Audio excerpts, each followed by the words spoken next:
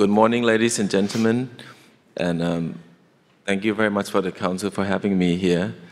Um, I'm very sorry, I'm a bit nervous. It's my first time speaking uh, in front of public. It's, um, it's easier for me to put up the tallest building in the country than to prepare for this speech. So let's, uh, bear with me a bit on this. Uh, So Mahanakhon is um, the tallest building in, or going to be the tallest building in Thailand. Um, what's a bit unique about this case is uh, it's over, it's, um, it's done by a private company which led by myself um, about nine years ago. And um, with a very big ambitions of um, wanting to create not only the tallest building, but the buildings that um, would make a difference to the, to the cities and also belong to the cities. So starting with the name uh, of the project, Mahanakhon, we, we do also a lot of competitions for the name of the buildings, and we have over hundreds of different names that has been proposed, and it all in English, whether it's Bangkok Center, Bangkok Tower, and, and then we decided to use to go with Thai name, which is Mahanakhon, uh, which is um, it's a part of a, um, a name for Bangkok in Thai language, uh, and it means a great metropolis. And so start with the name that we feel is very important that uh, with the vision of wanting the, the building to be part of the cities, the, the name of the building itself, it's something that everyone's in, in Thailand are familiar and, and, and reminded them of the cities. And we're also very fortunate to be able to work with, um, very closely working with an architect who shared the same vision as well.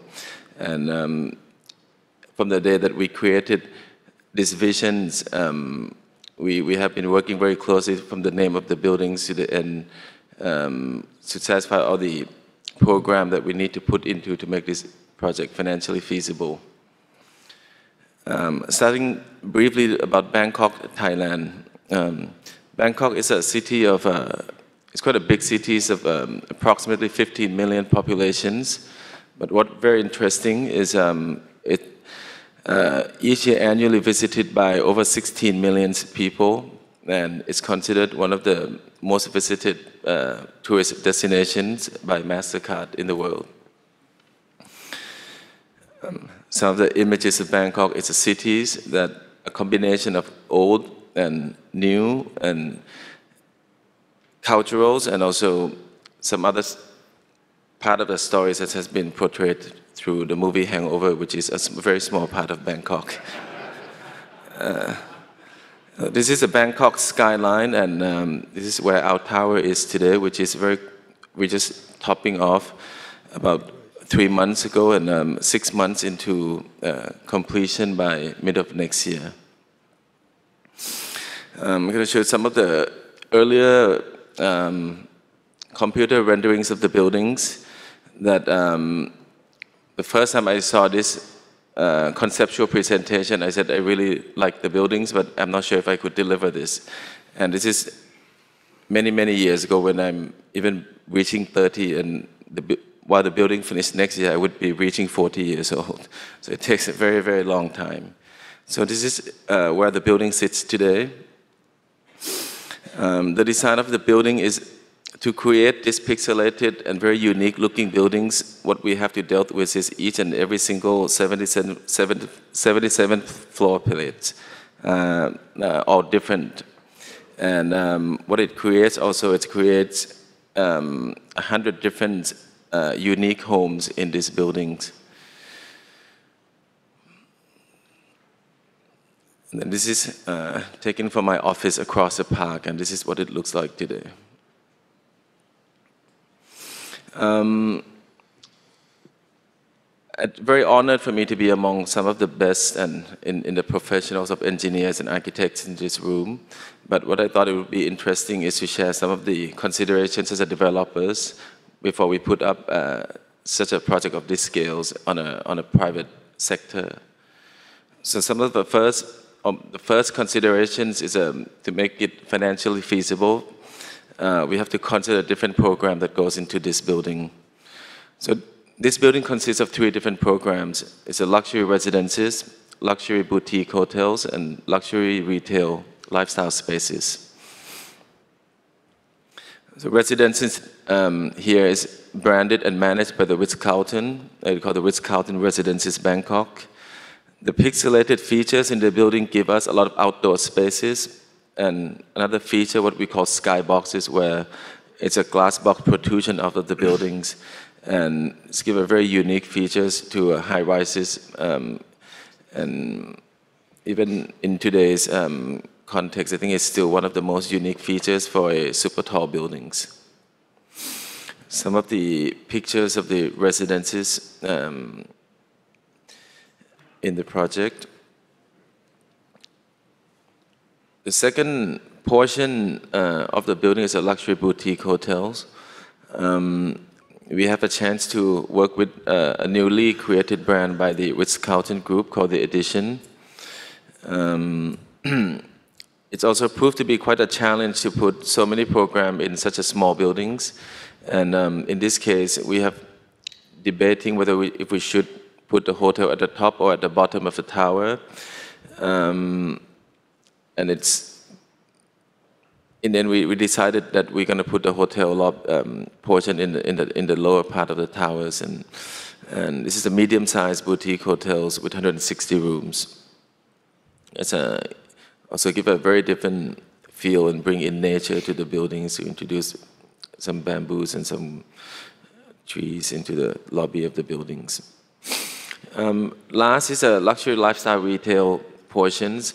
Um, another challenges for us, or another things that we would like to do also, which a bit contradict to what our ambition was to make this building part of Thailand, is also to to introduce some of the international quality um, operators in the world to Thai people as well. So in this um, small building, what, what we call uh, the Cube. We also bring in some of the international um, name um, operators. We are the first one who bring Dean & DeLuca Gourmet Market to Bangkok, which has just opened in the in the building very successfully last year. We are also the first one in Asia working with Condé Nast to bring in the first uh, of the Vogue lounge concept into the development. These are all actual photos that um, completed since last year. And also some of the best uh, restaurants in the world with um, Mr. Joël Robuchon. And also very, very, so all of this is also to bring in international qualities to Thailand that we have done fairly successful. Our second consideration when we put up this building is we wanted this building also to be part of the cities. And therefore we are very much given importance to the public accessibility to the buildings. Um, so what we have done also is to add a, a few more program into this um, in, into this project that is not part of the financial feasibilities, but we feel it's important to to make because it's going to be the tallest building in the cities to make it accessible to public.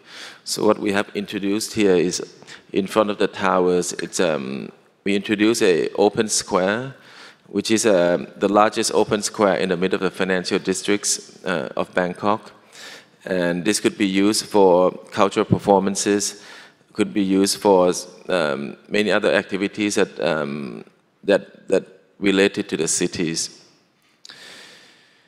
Then at the peak of the towers, we feel we should give the people an access to these towers, and we put in this observation deck that could be accessed by tourists or by local alike or by you know architecture students. And we feel this is a very important part that this building has to be accessed by the public, both at the project level and at the top of the buildings.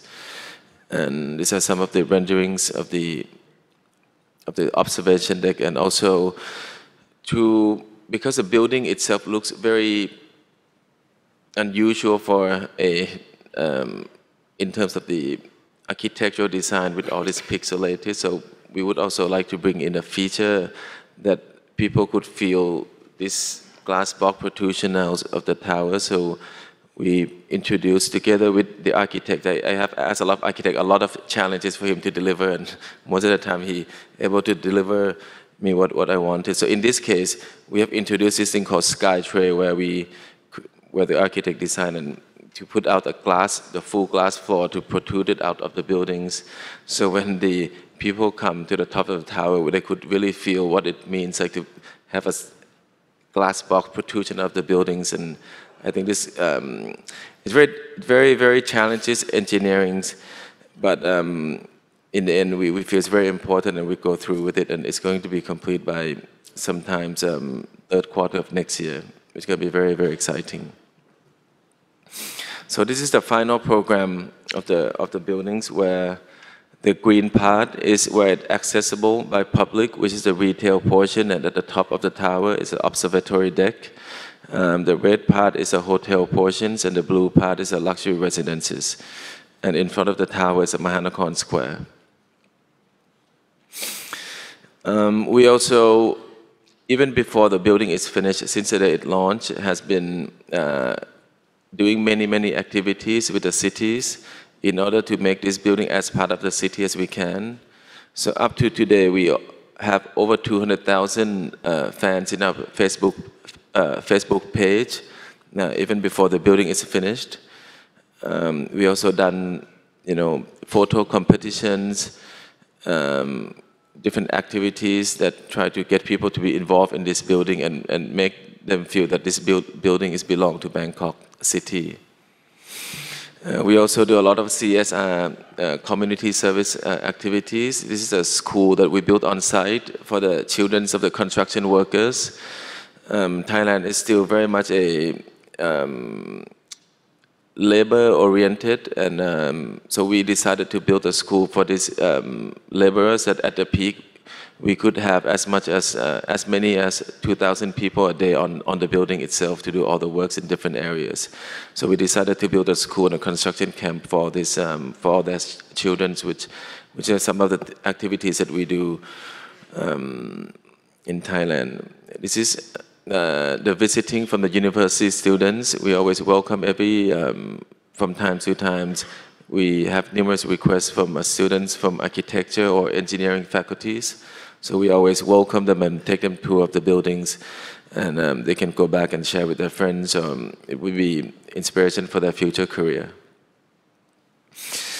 The fourth one is um, it's something that I learned it in a very very interesting ways. That there's a lot of uncontrollable factors, especially in Thailand in the past nine years. I'm sure all of you have heard a lot of stories about Thailand in the past nine years.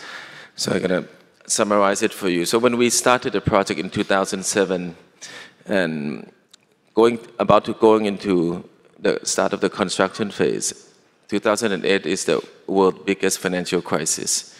And that's just a starting uh, point when we started this project um, eight years ago. Then the crisis get resolved, things getting better, business start moving again. In Thailand itself, we have the biggest local political crisis in 2009 and 2010 for two full years. And talking about the youngest guy, I want to put up the tallest building in a country during this time. It's very, very difficult. Then after the political crisis has been resolved, then 2011, Thailand faced with the biggest flood in Thailand histories. Um, it's over it's something that Thailand never never dealt with before. You know, all the airport was shut, plane was in the waters, McDonald's in the waters, everything is under the waters. and again, fourth year into the project, trying to do this and seeing these uh, external factors. Then 2012 came, another European debt crisis, and then ended up with last year another coup d'état in Thailand. so again uh, a lot of external factors that we cannot control. But we are fortunate enough and we are persistent enough and we would like to do this. We are fully committed to do this. So now it's, you know, 2015 and this is where we are. We are six months into completions. Um, the buildings looks great. Um, and it, it gives us a lot of um, experience and confidence to take on uh, more challenges uh, if it may in the future, and give, give me personal lessons as well. And that's, um, that's Mahanakhon. So thank you very, very much.